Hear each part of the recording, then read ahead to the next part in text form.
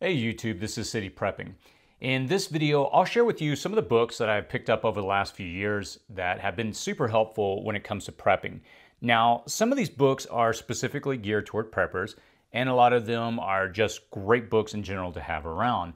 Uh, books that are, you know, helpful with finances and other things. So what I'll do is I'll share with you some of the books that I've picked up, I've added to my library. This is by no means an exhaustive list, but I think it's a great starter if you're looking to build your own library out for books that could be useful to help you in prepping or uh, other things like medical issues. So, what I'll do is I'll share with you these books, and I broke them up into different categories. Some of them are medical, some of them are kind of like self help, some of them are specifically geared toward prepping. And at any time, if there's any books that you think are very helpful that I didn't mention, please post those in the comment section below. Again, a lot of the books that I have picked up over the years have been from subscribers and viewers that have recommended different books. So without saying anything else, let's go ahead and jump in. What I'll do is I'll start with the first category of medical. Now, these books that I've got here, I'll share this first one, and you'll obviously not be surprised at all by this book. This one I share a lot on the channel. It's the Survival Medicine Handbook. It's by Dr. Bones and Nurse Amy. They're regulars on the channel. Um, that's one of those books that I would definitely want to have, have or have around if there were an emergency, there was no physicians around. A good friend of mine, she's a physician, and she reviewed the book, and she was really impressed for someone that's a layman like myself that is not a physician. She, you know, pointed out has a really good information. The next one is Where There Is No Dentist. And I've actually shared this before when I did a video on a dental kit that, again, Dr. Bones and Nurse Amy have actually produced and created. Uh, this book was originally designed for individuals in third world nations that don't have access to dental facilities. And so, if there were a prolonged grid down situation, a lot of people really uh, aren't, I don't think, are prepared to deal with dental, and it would be a huge issue. So, highly recommend that book in conjunction with getting a basic dental kit. And I'll post a link in the cards if you're interested in picking up or viewing the video that I did on that. The next section, why don't we go over here to what I would call skills that I'm currently working on developing. If you view my channel here lately and you've seen even the last video I talk about uh, working on a self-sufficiency environment that I'm working on. So a lot of these books I'm having to use while I'm going through that. This one is called uh, Home, uh, Home Composting Made Easy. I've actually been composting for about nine months now, and I'm finally, I think, the last few months getting the hang of it and seeing, uh, you know, results. This next one is one that I'm actively going through right now. Is beekeeping for dummies. If you're interested in getting into beekeeping, this one has been super helpful because it's just very much by the numbers and it tells you everything you need to know. Um, again, I'll post links in the cards if you're interested in seeing those videos that I've been doing on learning, you know, beekeeping. It's a skill that I think is important for a lot of different reasons for a prepper. The next one is the hive and honey bee, uh, the excuse me, the hive and honey bee revisited. This is a book my dad recommended to me. He was a beekeeper for a long time. This is a book he found very helpful. Uh, I'm also going to go through that after I finish Beekeeping for Dummies.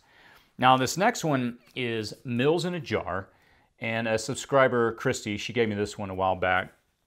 This one shows you how to actually buy pre uh, freeze dried food uh, components or you know things that have already been you know freeze dried so you don't have to have your own freeze dryer and you can com- take those and combine them in in a jar and then you know have food that literally you just put hot water in um, i think you know if you don't have a freeze dryer i obviously talk about it on the channel but if you don't have one I think that's a good book for you as far as getting the things that you would need and how to assemble these uh, different little meal kits. Let's see, the next one is in regards to gardening.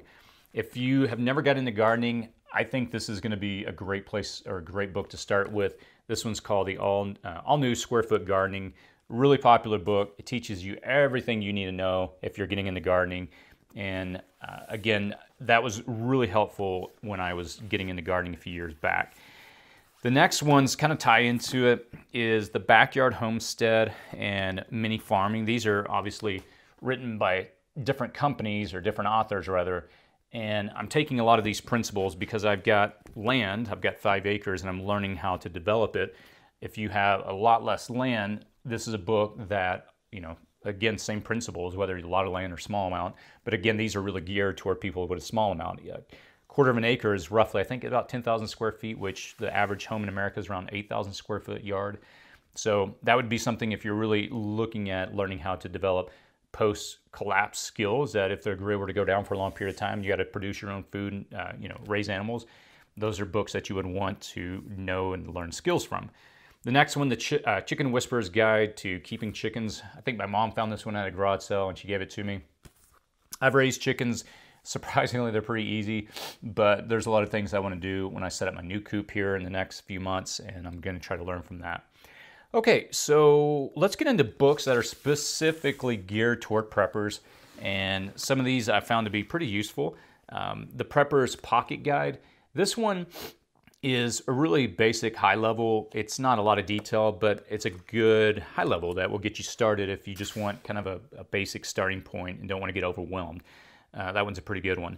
This one, uh, there's two actually the Prepper's Long Term Survival Guide and the Prepper's Home Defense. These are written by the same author, Jim Cobb. He's apparently, or he's pretty popular within the prepper community. He's written a lot of good material. And again, I'll post the links to all these books as I'm going through them in the description section if you want to check any of these out. I think those books, specifically the Prepper's Home Defense, would be good when you're looking at what do you do if there is a prolonged grid down situation? How do you defend your home? He goes into that in a lot of detail.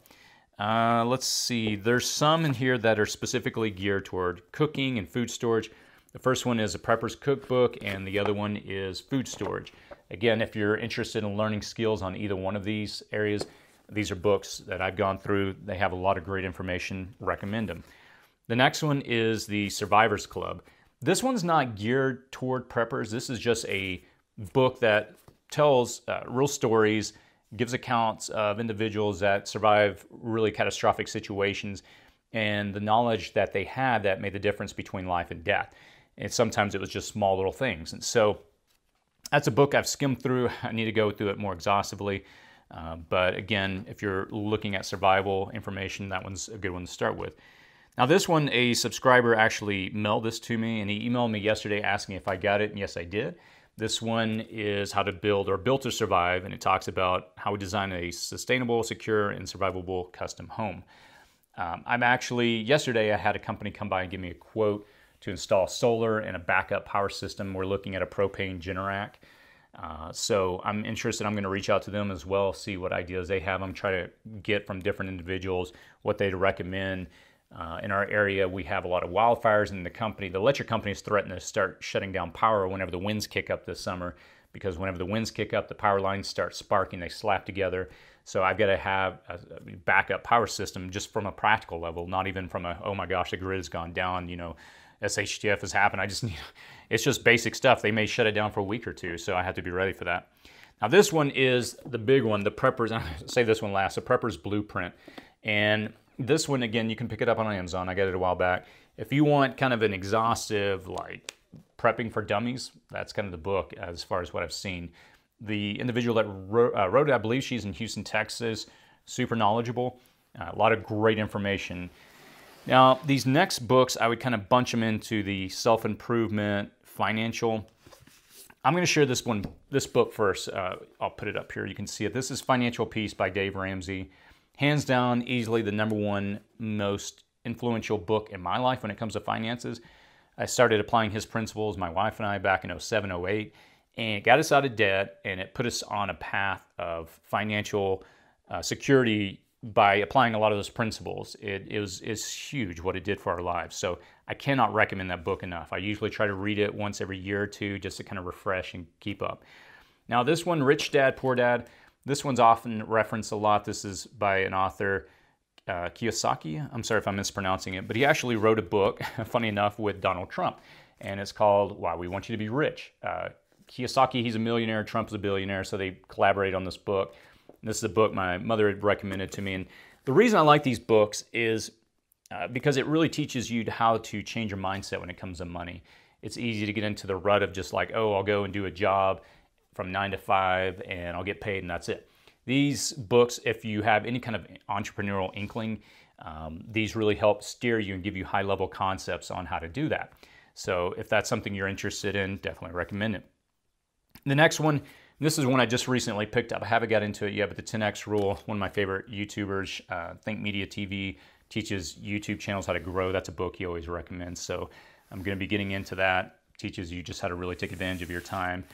Um, the next one, these real quick, are the next 100 years Just had a friend over recently and he recommended that. Uh, it's a book that projects a lot of things that we'll probably see come over the next hundred years in our culture and world.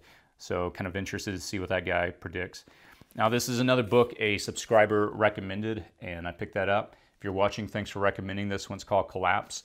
Again, talking about the, well, the subtitle is How Societies Choose to Fail or Succeed.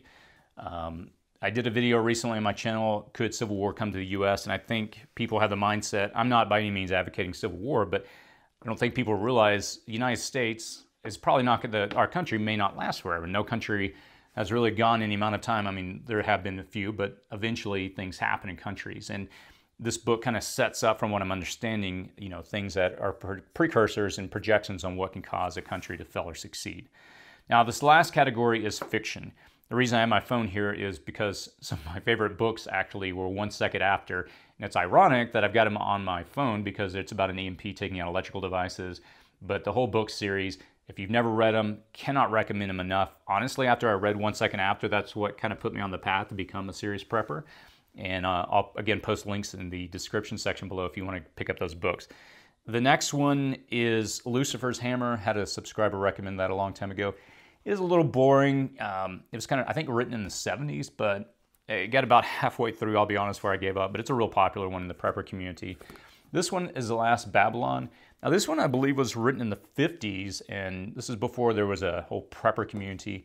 But it talks about, you know, a nuclear exchange and how it takes down America, the grid, you know, and how people have to learn how to survive. Um, has actually, from a fiction perspective, I thought it was really well written.